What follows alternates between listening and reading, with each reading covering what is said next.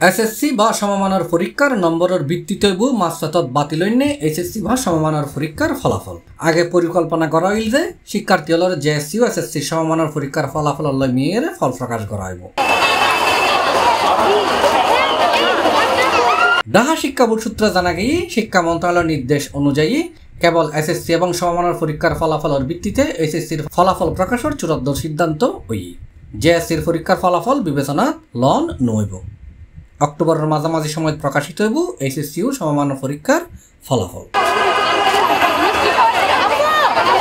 গত মাসত সচিবালয়ত বেতনত ঢুকিয়ারে শিক্ষার্থী হলে বিক্ষোভ এবং গেরাও করলি এবার এইচএসসি বা সমমানের স্থগিত পরীক্ষায় বাতিল করতে বাধ্য হইল শিক্ষা বিভাগে।